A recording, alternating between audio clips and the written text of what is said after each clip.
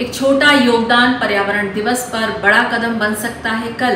पर्यावरण दिवस पर आप भी लगाइए पेड़, जो कि कल आपको देगा सुखद भविष्य। विश्व पर्यावरण दिवस के उपलक्ष्य में विकलांग सेवा समिति की तरफ़ से सिलीगुड़ी शहर में 40 नंबर वार्ड की तरफ़ से एक जागरूकता रैली का आयोजन किया। जैसे कि सभी जानते हैं, पेड़ लगाना कितना ज़रूरी है, इसी तरह का संदेश इस रैली के ज़रिए दिया गया ताकि लोग पर्यावरण को बचाने के लिए आगे आ सकें পরিবেশ দিবস এই পরিবেশ দিবস আমরা প্রতি বছর এইভাবে পালন করি যে আমরা ওয়ার্ডের মধ্যে প্রতিটা পার্টে বিভিন্ন জায়গায় আমরা বৃক্ষরোপণ করি তারপর আমাদের একটা সুন্দর শোভাযাত্রা বার হয় যা সমস্ত ওয়ার্ড পরিক্রমা করে আমরা আজকের দিনে আমাদের ওয়ার্ডবাসীকে শুধু একটা জিনিসই বলবো যে নিজের নিজের এলাকা আপনারা পরিষ্কার পরিচ্ছন্ন রাখুন কমসে কম একটি গাছ গাড়ুন যে গাছ আমাদেরকে অক্সিজেন দেবে, আমাদেরকে বাঁচিয়ে বাঁচিয়ে রাখবে।